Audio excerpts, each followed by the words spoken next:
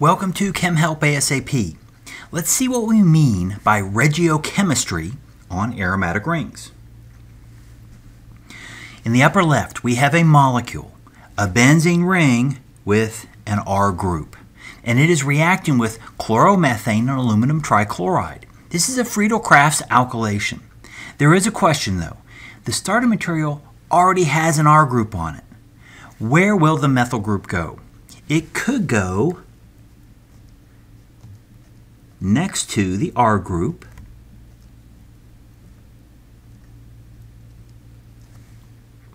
That would be the ortho product. Ortho should be italicized, so I'll underline it. There are two carbons that could react to give the ortho product. We'll put little O's next to those carbons. The methyl group could go another position, one carbon over.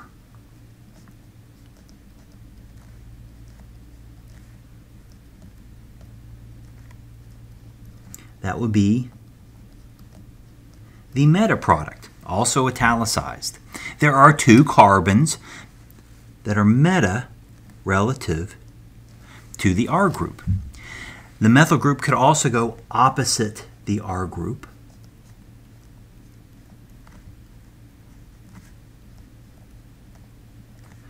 This is the para product.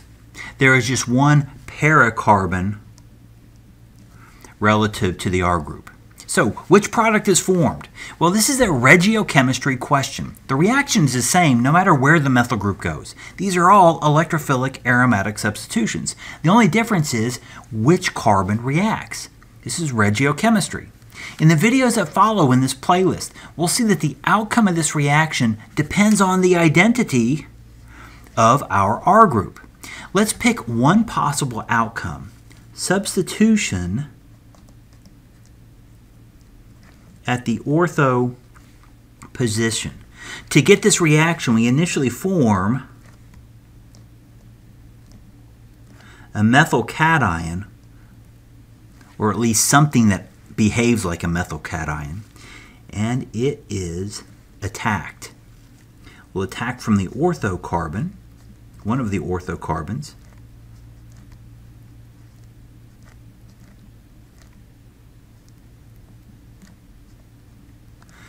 to give a new non-aromatic cation intermediate.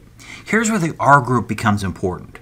We'll see that the size of the R group can play a role in the reaction. This is a steric effect.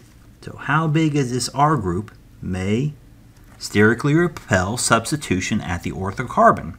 We'll also see that electronic effects of the R group may be important. In other words, the R group may stabilize or destabilize the positive charge of the non-aromatic carbocation.